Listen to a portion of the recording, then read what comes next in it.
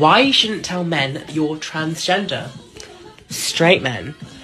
It's because they will judge you beforehand and probably not go on the date with you. Some people might argue that they're not worth your time if they don't want to date you if you're trans, but no, because you might literally miss out on the love of your life and the love of their life because they might have the preconceived notion of what trans is, trans is in their head. Man in a wig, they're going to be called gay, they're going to be shunned from society, from their family, whatever.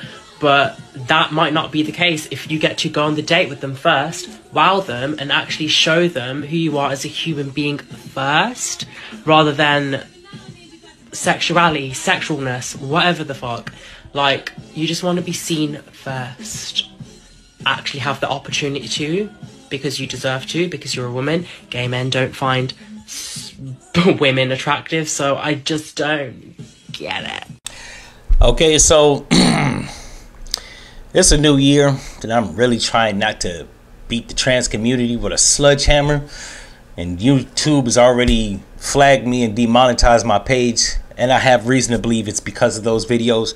I'm just speaking the truth. You motherfuckers living a lie, so if you don't like it, I guess you're just living a lie, not the truth or your truth. What I will say is, let me answer these questions by this man. Why you should tell people that you're transgender is because they're straight. They like females, straight up and down. They like think creatures that have vaginas.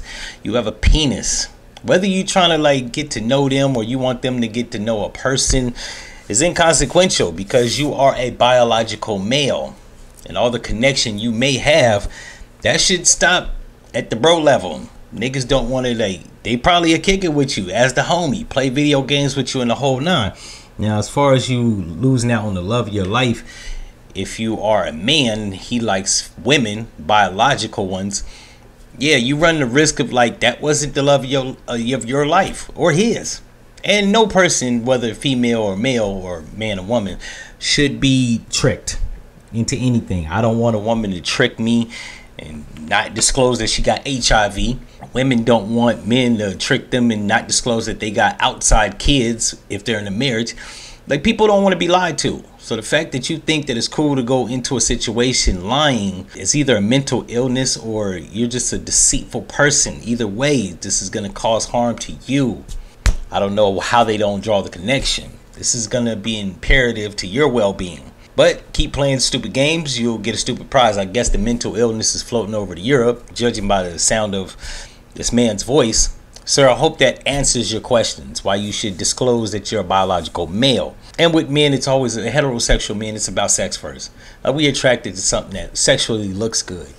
Right? All this intrinsic shit. I don't know. This gay man must have female friends because he's trying to appeal to men's altruistic intrinsic sensibilities, which we don't operate like women.